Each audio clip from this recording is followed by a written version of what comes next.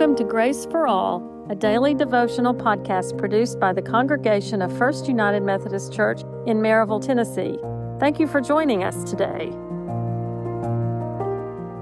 This devotional was written by Alvin Jenkins and read by Joey Smith.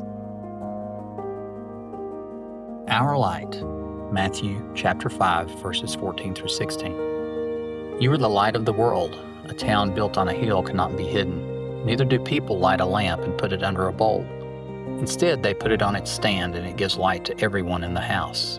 In the same way, let your light shine before others, that they may see your good deeds and glorify your Father in heaven. And also Matthew chapter 6, verses 5 and 6. And when you pray, do not be like the hypocrites, for they love to pray standing in the synagogues and on the street corners to be seen by others. Truly I tell you, they have received their reward in full. But when you pray, go into your room, close the door, and pray to your Father who is unseen. Then your Father who sees what is done in secret will reward you. For a long time, these two passages seemed to me to be saying the opposite of each other. Do your good deeds so others could see them, yet pray in secret and be rewarded in secret. Then one day I either read or heard something that shed a new light on them. I had always thought of my light as being like a glowing body, I guess that's from watching too many movies. However, our light is more like the light from a flashlight held by someone leading us in the darkness. The light doesn't shine on the person holding the light, but shines on the path before us to lead us safely through the darkness.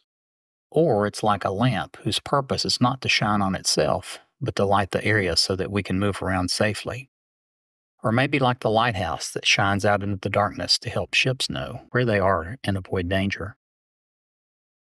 While our individual lights may be small and the darkness around us is large, without our light there may be portions of the path that are dark or not clear.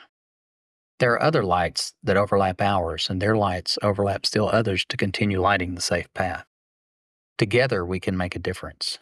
The trick is to always make sure our light is not shining on us or the wrong path, but that it shines on the path that Jesus showed us through his words and deeds.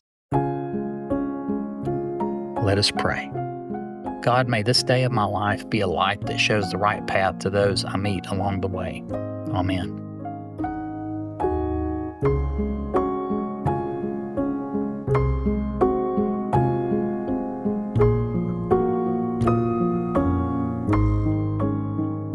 In 1740, John Wesley, the founder of the Methodist movement, preached a sermon in Bristol, England, in which he proclaimed, The grace or love of God, whence cometh our salvation, is free in all and free for all.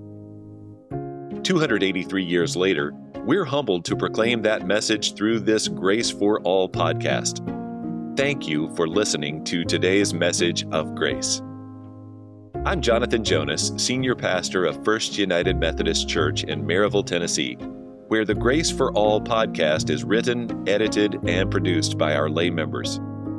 To know more about our congregation and its ministries, please visit our website at firstchurch.org. That's the number one, S T C H U R C H dot O R G.